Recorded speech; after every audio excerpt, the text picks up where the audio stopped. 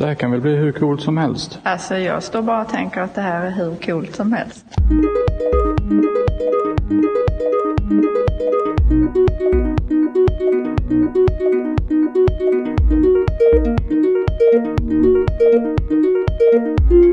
Dels så tror jag faktiskt att projiceringen av manustexten blir bättre om folk sitter där än om de kanske till och med manustexten och distrahera publiken de sitter och läser den.